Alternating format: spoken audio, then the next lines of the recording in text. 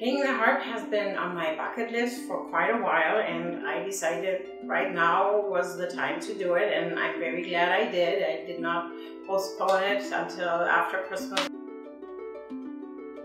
Well, I'm definitely a beginner. I've been taking lessons for six weeks now.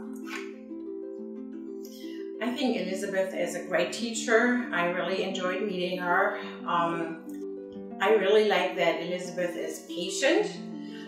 She takes a long time or a, good amount of time explaining things. Um, always has time to answer my questions. And most of, important of all, um, she gives encouragement. That is what I, as a student, really need because I think, ah, this is not good. And she, she encourages me, and that is what keeps me going.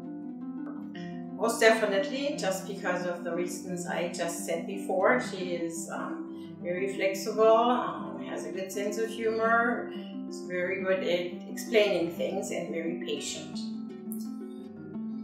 I would say just do it. Um, I was very lucky finding Elizabeth on the internet. Um, I would probably go for um, finding somebody through recommendations, but um, think these days the internet is the way to go.